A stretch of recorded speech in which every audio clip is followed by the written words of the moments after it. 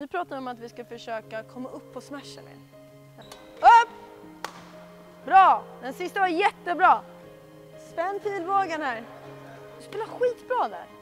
Upp, bra. Men jag tror allt börjar med att jag tyckte det var så fantastiskt att se en utveckling från att man kanske inte börjar tro på sig själv till att man börjar testa något helt nytt och se de här små målen man når hela tiden.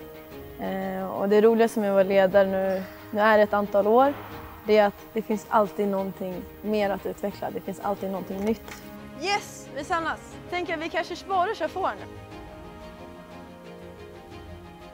Snyggt! Bra! Det är väl inte viktigt att kunna tävla? Nej, kanske inte, men känslan av att jag kan göra det är ju helt fantastisk. Och det är väl den känslan jag vill kunna ge spelarna också. Så det är inte att jag är superhård på träningen eller så, utan jag vill att alla ska kunna känna att jag kan bli bäst. Sen vill jag inte bli bäst, det är väl en annan grej. Men att möjligheten finns. Vi kommer köra match med en lite annorlunda variant. Jag har faktiskt ett minne från när Johan var här första gången i just den här hallen. Kom igen Johan, kör!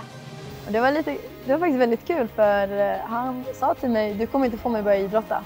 Jag har testat allt och jag kommer inte börja idrotta. Uh, och idag är han här med en rullstol som är specialbeställd åt honom för att han vill börja tävla och har tränat bra mycket för att liksom komma hit.